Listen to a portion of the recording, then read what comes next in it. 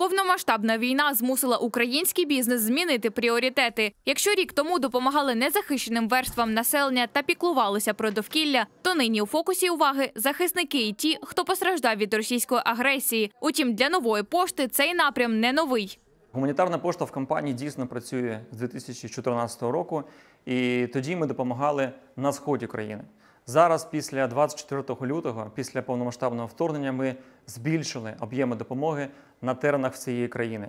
Якщо до початку війни у лютому у нас було 82 учасника, то зараз їх вже налічують 310. У Києві пакують, у Дніпрі розподіляють. Один із прикладів співпраці в межах гуманітарного напряму з благодійним фондом Андрія Шабанова Ти не один. Нова пошта власним коштом доставляє медикаменти, що рятують життя. Спочатку у Дніпро, потім у прифронтові міста. Это первые 400 а, аптечек для взрослых. Есть еще детский вариант, в который входит отдельные 10 препаратов для детей. Этот набор мы сразу отправили в Краматорск. Там, к счастью, тоже работает отделение новой почты. У межах співпраці нова пошта, попри ризики, доставляє ліки першої необхідності якомога ближче до лінії фронту. До складу аптечки від благодійного фонду Ти не один входять 17 найнеобхідніших препаратів.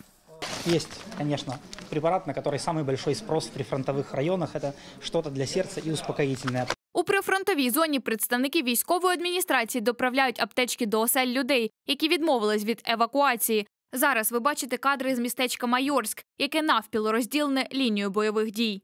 Мене звати Максим, заступник Світлодарської військової адміністрації. Ось це е, набори е, медикаментів, які будуть щас, е, зараз прямувати до се- селища Зайцево, станція Майорськ. Фонд Андрія Шабанова співпрацює з гуманітарним напрямом нової пошти на постійній основі. Також благодійні вантажі можна відправляти за потреби. Аби стати учасником програм гуманітарного напряму, необхідно подати заявку на сайті компанії та надати документи, що підтверджують неприбутковість організації. Протягом трьох робочих діб їх розглянуть і неодмінно дадуть відповідь. Поліна Поломарчук, Олена Городецька та Олег Одринський. Новини 11 каналу.